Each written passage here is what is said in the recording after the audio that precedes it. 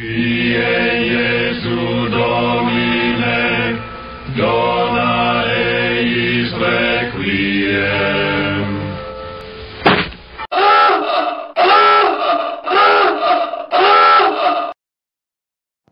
morning. And you'll notice no sirens. So it's not potentially controversial content. This is just talking about censorship. And uh, I, I do find it uh, very uh, paradoxical that you can be censored for your ideas, but not um, not anything else. Your your ideas are worth censorship. Everything else has to be open and accepted, but ideas. I think that's crazy. Uh, screw it. This is a Black Hat commentary. so I'll add the sirens at the beginning because do they have the right to censor? Sure they do.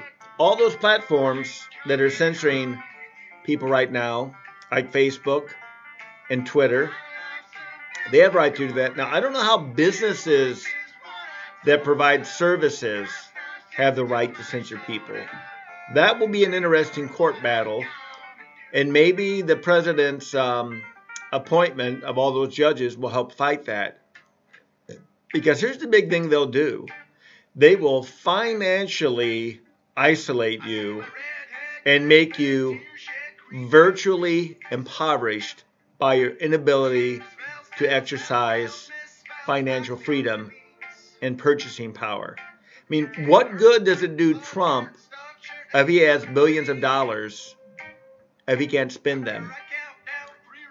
What good does it have all that wealth if the people who provide services or commodities lock you out?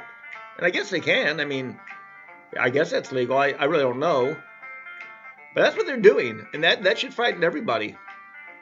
Because if they can get away with it with Trump, they will try it with anybody who displeases them. This is the great lesson of the left. Yeah, this is definitely Black Hat commentary. I didn't think it would be, but it is. So fitting that the siren is out in front. But it's crazy. And um, I'll be loading this up to locals first and then YouTube and slowly moving away from YouTube. Um, I I will use it for music and for podcasts, but I don't want to contribute anything to it myself. Not that they care about me anyway. I'm a nothing in their uh, in their uh, planning.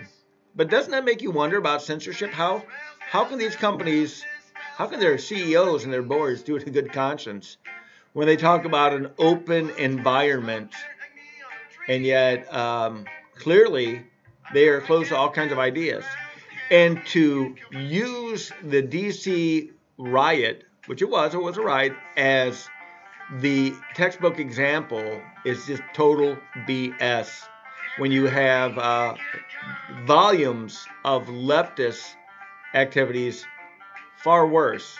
I know it sounds like whataboutism, but I don't care. Some whataboutism does have facts, so get over it. Whataboutism doesn't disqualify anything if you can't answer it. It's like, I just refuse uh, to acknowledge you. Okay, well, that doesn't stop their claims. Just tells me you're some sort of asshat that can't uh, deal with questions or disagreements. So we'll see how this all plays out. I believe the best part of censorship is they just lose their base. I hope Facebook and Twitter suffer financial ruin in the United States.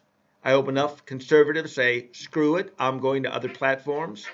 I highly recommend locals. Rubin Report is excellent over there if you want to get engaged in cultural and political commentary, moderate to uh, right leaning. Phetasy is great. It is a free range community, so you can meet lefties there. Although not lefties, probably more more liberals. But you'll meet a lot of people who are very critical of the MAGA movement. So if you're, you know, if you're a, a prone to cult worship of Donald Trump, you won't like Phetasy because uh, they they sacrifice the sacred cows over there and make hamburgers out of them on a regular basis. But they do it to the left too. Free range, and that's what I like about it. One of the things I really appreciate about uh, Bridget Phetasy and uh, her uh, her platform. Then I've uh, I support Scott Adams over at Locals, but I don't visit this site much.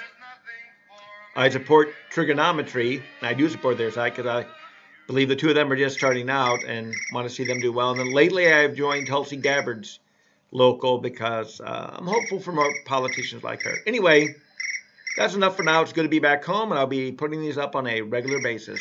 Happy Sunday, everybody. God bless.